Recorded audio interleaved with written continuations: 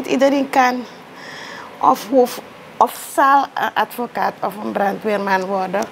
Maar met kunst kan je ook ver komen.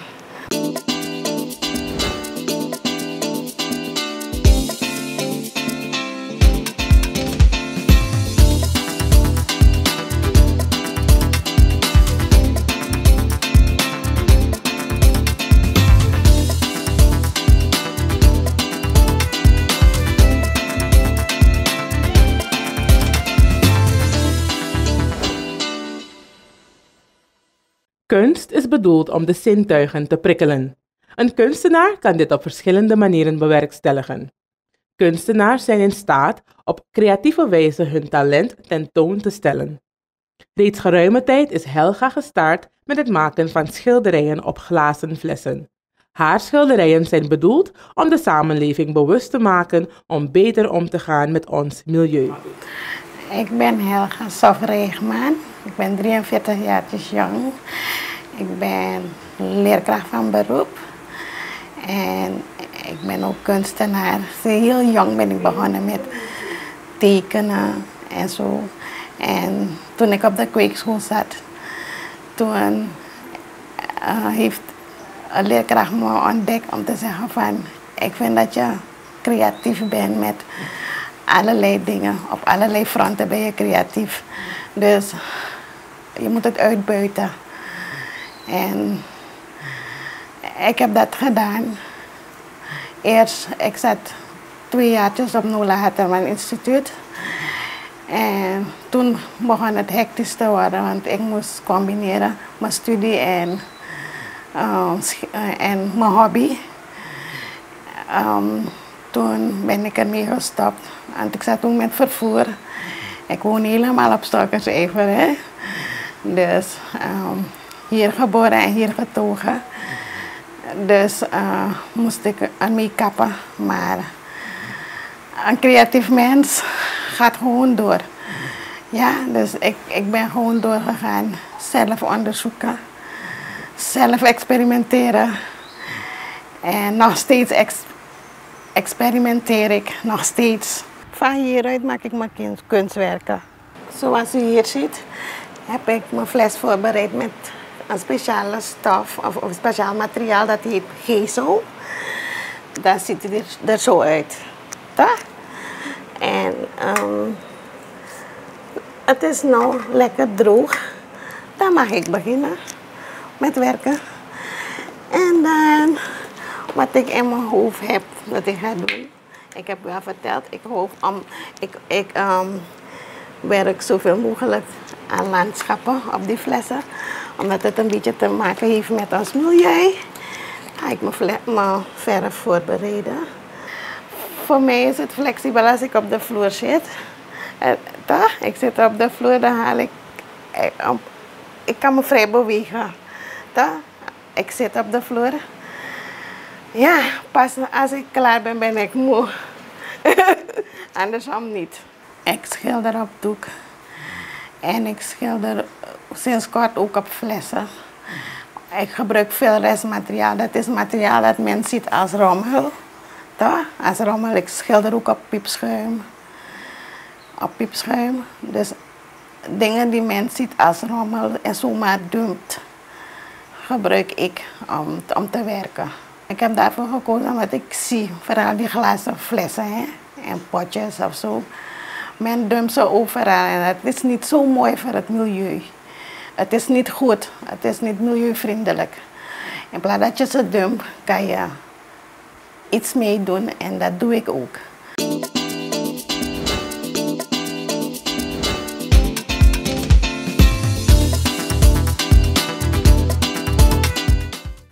Als ik start op een fles, dan heb ik al mijn hoofd, heb ik mijn inspiratie al wat ik ga doen. Dan vertel ik dat verhaaltje vanaf de eerste fles naar het eind.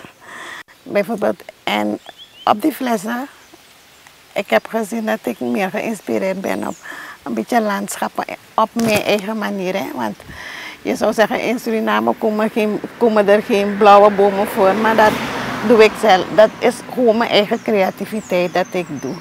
Dus ik heb iets opgevangen en ik ga Ik ga op die flessen, mijn verhaal op die flessen vertellen. Mijn bedoeling met die flessen is dat ik zoveel mogelijk mensen, kinderen, volwassenen, oma's, opa's, iedereen bewust kan maken dat je um, um, restmateriaal niet hoeft weg te gooien. Eigenlijk is het, maar is het dat wat niet, niet positief is bij de mens, wat niet goed is, beeld ik uit. Ik maak het, als, je, als je zou kijken, zou je gelijk zien van ja, het is hartverwarmend, het straalt iets moois uit. En als wij daarmee beginnen, als het, ik denk als het bij mij begint, kan ik, kan ik ook anderen bereiken ermee, dat ze zien van Um, het zou iets moois zijn als u zou komen en u zou zoveel hopen met, met viezigheid overal zien. Dat, mens, het, het, het, het, het past niet. We moeten ons milieu schoon houden. Vandaar dat ik alleen landschappen op die flessen doe. Ik heb mijn verf voorbereid. En als ik andere kleuren wil, dan gebruik ik mijn paletmesje om, om te gaan mengen. Voor nu heb ik een hele mooie lichte blauw nodig. Dan ga ik mengen. Gewoon met mijn kwast.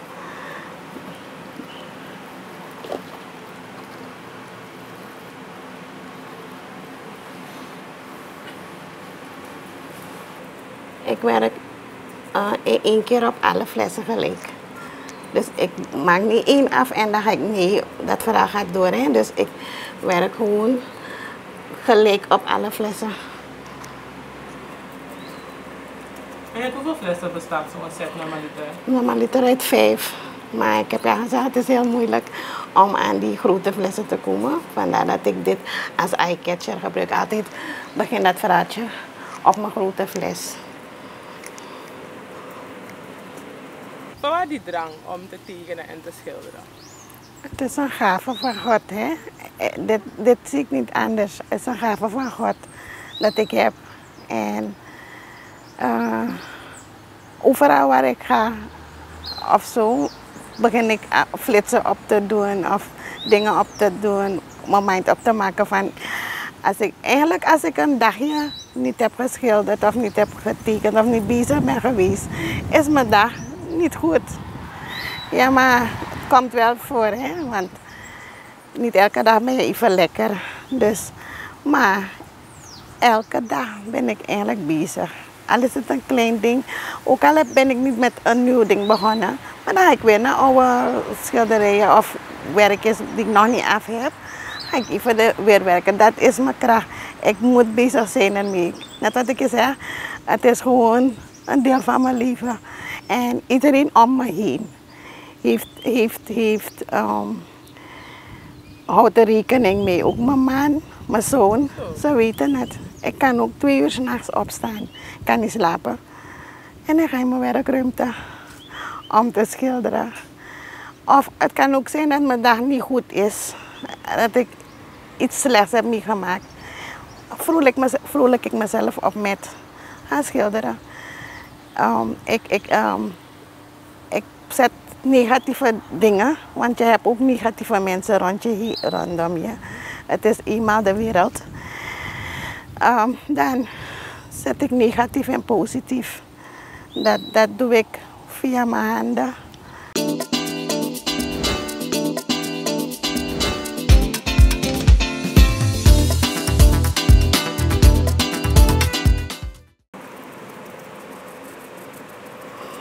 Zoals je hebt gezien heb ik niet eens de mijn label weggehaald. Ik laat het gewoon. Ik werk gewoon erop.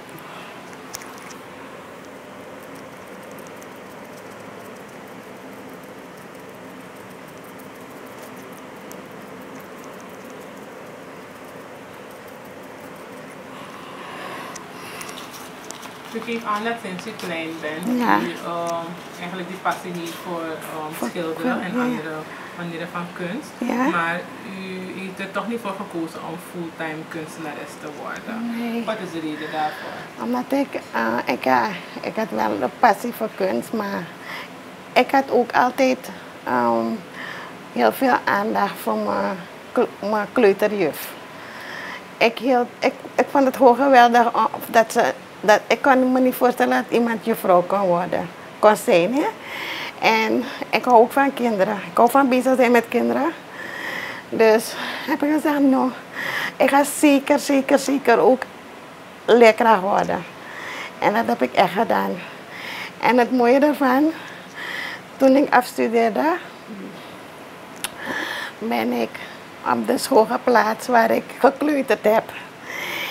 En ik was collega van mijn, van, van, van mijn eerste klasje vrouw. En ja, dat konden we ook gebruiken om kinderen te motiveren. Van, als je een droom hebt, moet je het verwezenlijken. Toch? Ik, heb, ik, ik, ik acteerde ook altijd voor ze. Van hoe, hoe streng mijn vrouw was. Om te zeggen, zo erg en Diana, omdat ik, omdat ik een tweeling ben. Dan kwam je vrouw vaker in de war met ons. Toch? Dan werd ze boos zo, jij hebt hier niet geschreven. Uh, je zus heeft hier geschreven. En als ze niet uitkwam, dan zei ze, ga Diana. Dus ze riep ons beiden. en als we stout wilden doen, dan gaven we beide antwoord. en dan zegt ze, oké, ik ga jullie beiden op straf zetten, want ze komt er niet uit, hè. We zijn identiek. We lijken echt op elkaar. We doen dingen altijd samen. Vindt u het moeilijk om uh, uw passie te combineren met uw werk? Um, eigenlijk, niet, nu, niet, um, eigenlijk niet. Ik ben um, flexibel wat dat betreft. Ik moet wel aangeven dat ik... We gaan daarover niet praten, maar ik ben heel ernstig ziek geweest. En dat heeft een beetje, een beetje, flex, een beetje van mijn flexibiliteit weggenomen. Maar desondanks, ik geef nu sinds twee jaar geef ik tekenen aan kinderen. En het mooie daarvan is, wanneer ik met een opdracht kom, dan beginnen de kleintjes al te zeggen, je vrouw zo moeilijk, we kunnen het niet. We gaan niet kunnen. Je moet nooit zeggen, je kan het niet. Je moet nooit, nooit zeggen, je kan het niet.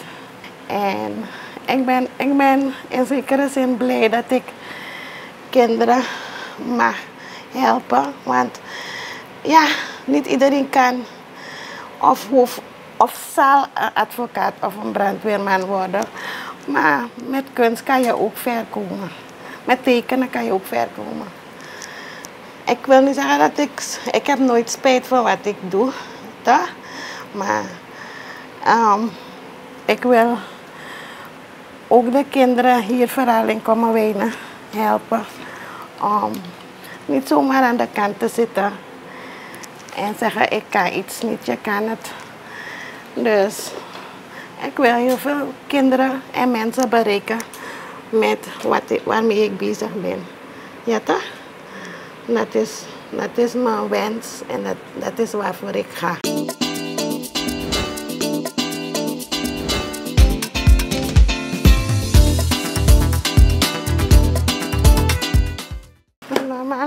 Sta vijf uur in de ochtend op. En dan... Uh, ik heb gezegd, ik ben een gelovig mens. Ik begin de Heer te danken dat ik een nieuw daglicht heb gezien. En dan begin ik mooi mijn zoon voor te bereiden. Uh, voor de school. Even vragen, brood of zo. Mijn man staat daarna op. En als ik niet moet, ik heb u gezegd, um, vanwege, vanwege een reden dat ik, vanwege ziekte kan ik niet elke dag gaan werken. Want mijn stembanden hebben een probleem. Maar als ik thuis ben, en als ik kleine dingetjes heb gedaan, dan, ver, dan ver, verdwijn ik in mijn, mijn werkruimte. En dan ga ik schilderen of leuke dingen doen. Soms, uh, soms doet het pijn dat ik niet elke dag op school kan zijn. Toch? Het zijn, ik ben, het is een stukje stress voor me. Maar God weet, dat ik geloof en God weet dat ik wat ik voor, hij weet, hij heeft een, grote plan met me. En dan vul ik me daar. Ik wacht mijn moeder, ik zit of ik ben bezig. Um, het mooiste van alles is, als ik in de rust wil zijn, moet ik s'avonds werken. Ik gebruik ook medi medicijnen waar ik eigenlijk een beetje rustig moet zijn. En dan, als ik me fit voel, dan ga ik leuke dingen doen, bezig zijn met mijn, met mijn dieren. Dus zo. Hoe lang duurt het voor u om één set af te maken? Hoe lang bent u bezig met één set? Het kan, het kan drie tot vier dagen duren. Toch? Want ik kan niet constant bezig zijn. Ik sta op. Maar het kan ook zijn dat ik het binnen twee dagen af heb. Hè. Dan, wanneer ik klaar ben, wanneer ik klaar ben met schilderen, moet ik nog een goed laten drogen. Toch? Dan krijgt mijn werk een, een, topcoat. Dat is een vernislaagje. Als ik helemaal klaar ben, als ik een vernislaag erover doe, dan kan je het overal in huis plaatsen. Ook in de tuin als je dat wil. Toch? Want ook al gaat er water op, het is waterdicht, het is, het is bestendig tegen alles toch? Dus het duurt wel een week voordat ik, laat zeggen, helemaal finish is een week. Als ik hard heb gewerkt ben ik binnen een weekje klaar. Ik moet eerlijk zeggen, de een vertelt de ander, als je ziet wat hij gaat doen, toch? De een vertelt de ander, ik, ga ook, ik heb ook op Facebook, plaats ik mijn dingen. Ik woon op een afstand, ik woon helemaal op Stalkers Ever. Zolang mensen geïnteresseerd zijn, vragen ze hoe ver moeten we rijden? Als ik begin te vertellen, 50 kilometer vanuit Bosjebrug of zo. Ah, zo ver. Dan moeten we nadenken welke dag we gaan komen hoor. Weet u? Maar ze zijn op dat moment, of soms zijn het ook toeristen die geïnteresseerd zijn in mijn dingen, in mijn kunst. Dan misschien moeten ze over een twee dagen vertrekken.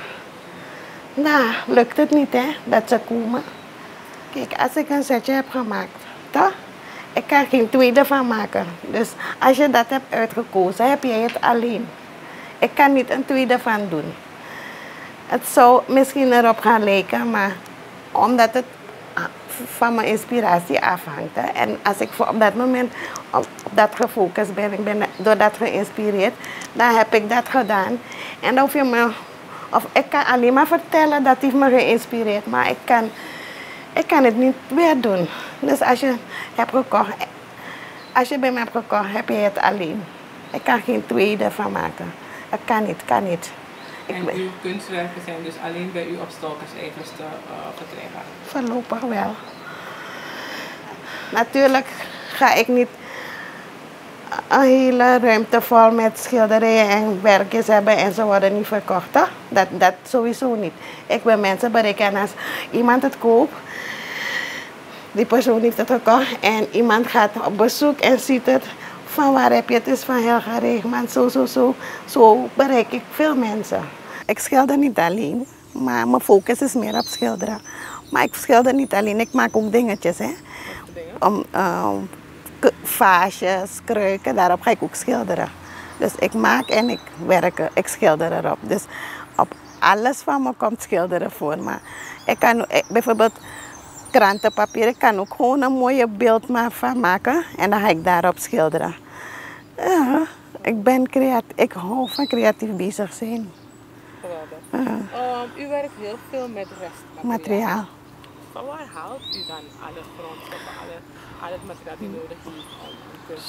Zo, um, die flessen vooral, die glazen flessen. Het zijn kan um, alcoholflessen, champagneflessen. Ik ga, eigenlijk focus ik op een feestje.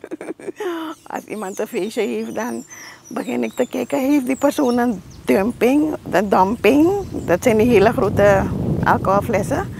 Want die zijn heel moeilijk te vinden. En iedereen doet iets ermee. Dat ik vraag. En soms moet ik, ik moet het kopen. Als het familie is, schenken ze het aan me. Maar gewoon zo op iemand afkomen om ik heb, die, ik heb uw fles nodig of zo. Mensen weten niet wat je ermee gaat doen. En ik vertel het niet altijd gelijk van dat ga ik doen. Dus dan koop ik het. Maar het is heel moeilijk, want niet, je kan niet, om niet overal gaan om, die, die grote flessen gebruik ik als eyecatcher voor mijn werk. Dus ik gebruik altijd een grote fles, uh, een grote fles om mijn verhaal te doen. Daar begint het en het eindigt bij die kleine flessen. Toch? Dus dat gaat heel moeilijk hoor. Om verf en zo, dat haal ik uit het buitenland. Ik heb ook een ander materiaal dat ik gebruik op flessen voordat ik ga schilderen.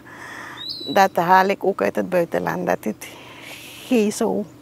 Dus dat gebruik, uh, haal ik uit het buitenland.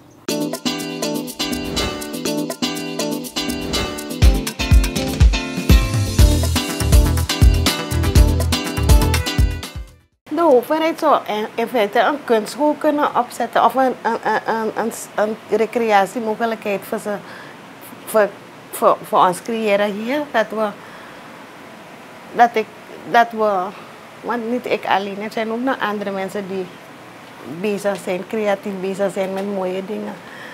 Dus dat zouden we, we hebben niks, we hebben geen opvang. Dus de overheid zou eigenlijk een kunstschool kunnen opzetten hier voor ons.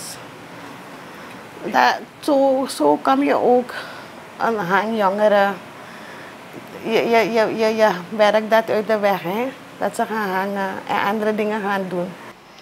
En dit is het eindresultaat als ik klaar ben. Elk uh, setje vertelt een ander verhaal.